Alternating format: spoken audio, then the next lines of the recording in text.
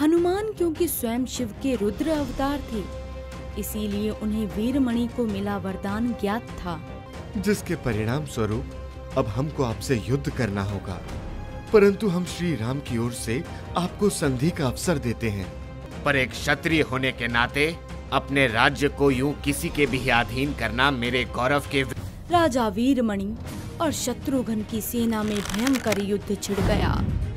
हनुमान जी ने जय श्री राम का नारा लगाते हुए अपने असीम बल का प्रदर्शन किया और वीरमणि की सेना को छिन्न भिन्न करते हुए आगे बढ़ने लगे। पर तभी भरत के पुत्र पुष्कल ने राजा वीरमणि पर बाणों से आक्रमण कर उन्हें घायल कर दिया। संपूर्ण कथा देखने के लिए चैनल पर विज़िट करें और चैनल को सब्सक्राइब करें।